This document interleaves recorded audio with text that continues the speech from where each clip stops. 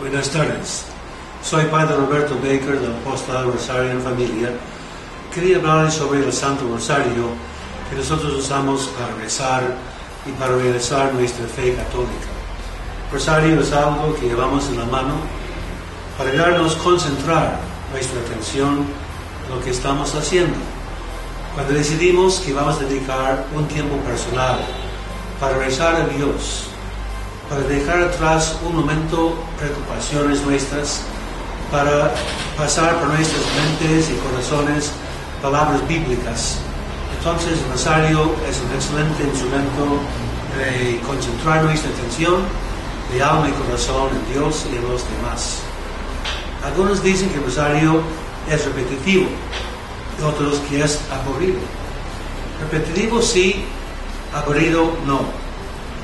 Repetitivo sí, porque repetimos con mucho cariño palabras bíblicas que enseñó Jesús y palabras que nos enseñó María en su trato con la madre de Juan Bautista. Entonces, pasando por nuestros labios y mentes palabras bíblicas, pensamos en Dios y rezamos por los demás. Eso nos permite estar muy atentos a lo que estamos haciendo, así contando las Ave Marías, llegando al Padre Nuestro.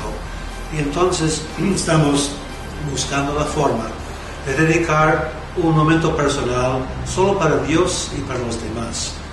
Puede ser 20 o 30 minutos que rezamos por nosotros mismos, familiares con problemas o personas que son para nosotros muy queridos. Esa dedicación de tiempo nos ayuda a mantener nuestra atención personal en lo que creemos, en lo que hacemos en bien de los demás. Rosario nos ayuda porque es algo físico que nos recuerda qué estamos haciendo. La mente es muy frágil y muchas cosas van pensando en preocupaciones, nos ahuyentamos por un tiempo y concentramos las palabras bíblicas en las oraciones del Rosario para poder ser muy atentos a Dios y a los demás con nuestra preocupación por su bienestar espiritual. Muchas gracias.